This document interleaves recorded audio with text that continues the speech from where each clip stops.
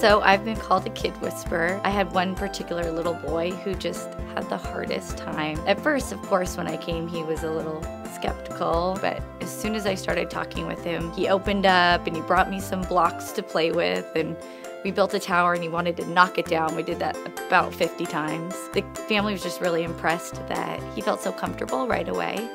And I tend to get that with a lot of the families that I work for. They feel just their kid opens up and connects with me.